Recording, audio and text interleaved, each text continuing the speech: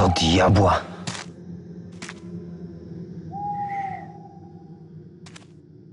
Dobranoc.